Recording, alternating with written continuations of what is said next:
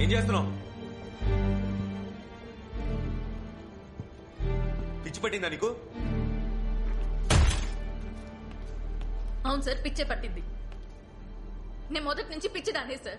పిచ్చిదాన్ని కాబట్టి అలా ఆలోచించాను. నేను శ్రమపడి ఒక మంచి పైలట్ అయ్యి ఈ యూనిట్లో ఒకదాన్ని అవుదాం అనుకున్నాను. సార్ నేనే కాదు మా డాడ్ కూడా పిచ్చివాడు. చిన్నప్పటి నుంచి కాక్పిట్లో అబ్బాయి కూర్చున్నా అమ్మాయి కూర్చున్నా పైలట్ అని అంటారని చెప్పేవారు. అబద్ధం కదా? పిచ్చివాడు డాడ్. మాకేం తెలుసు సార్ ఇక్కడికి వచ్చి మేము పంచాతో యుద్ధం చేసి మీ ముందు మా సామర్థ్యాన్ని నిరూపించుకోవాలని. కుస్తీ చేయడానికి రాలేదు సార్. ప్లేన్ నడపడానికి వచ్చాను. ఎత్తడానికి కాదు. గుంజన్ లేదు సార్ మీరు వినండి. మీకు వచ్చిన ప్రాబ్లం ఏంటో నాకు తెలిసిపోయింది. ప్రాబ్లం నా బలహీనత కానే కాదు సార్ మీకున్న భయం. మీకున్న భయం ఏంటంటే ఎక్కడ ఈ మేడం సర్ అవుతుందో సెల్యూట్ చేయాల్సి వస్తుందో అని. కదా? దానివల్ల మీ పురుషాహంకారం దెబ్బతింటుందని.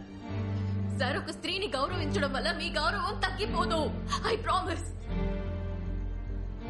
వదిలేండి సార్. మీ ఆలోచనలకి మీ భయానికి మీ పార్టీలకి పురుష అహంకారం ముసుగులో ఉన్న మీ అందరికీ జోహార్.